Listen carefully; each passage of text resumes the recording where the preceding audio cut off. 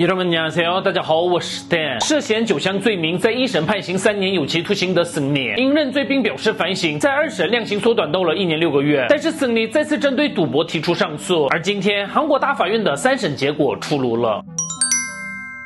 今天，韩国大法院驳回孙俪的上诉，维持了二审的有期徒刑一年六个月的原判。目前在国军监狱关押的孙俪，根据韩国兵役法会变入战时勤劳役，移送到普通监狱。而孙俪的刑期是二零二三年二月。九个嫌疑才一年六个月，一个追求两个月的量刑，就废除韩国的法律吧。才一年六个月，明年二月出狱，法律怎么这个样？每次都只有受害者冤枉而已，不是缓刑就不错了，最起码还有个有期徒刑。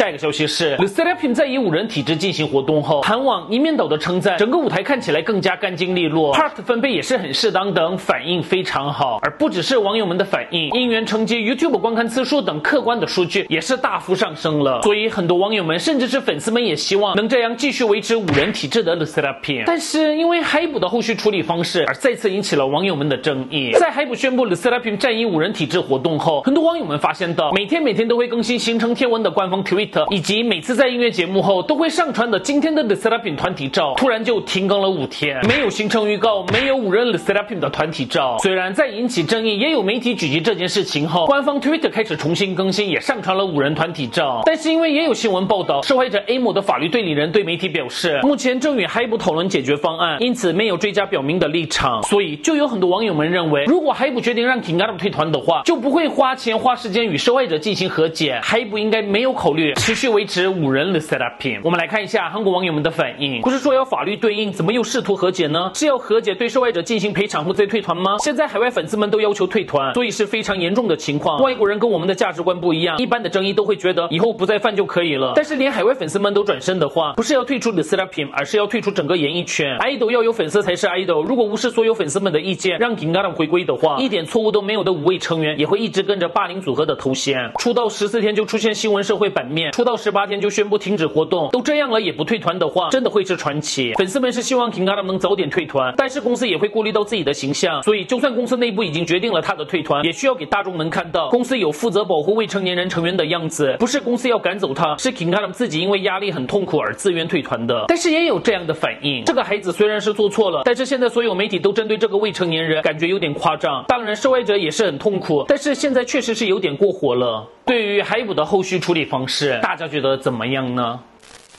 接下来我们来看一下找不到子瑜而慌张的粉丝，一位粉丝正在拍摄子瑜的个人直拍。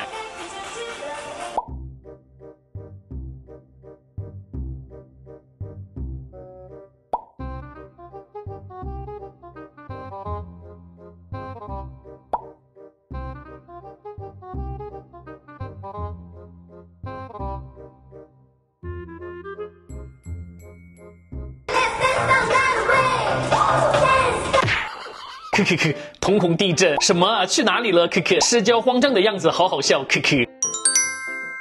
好的，今天的影片就到这里，我们下支影片再见，拜拜。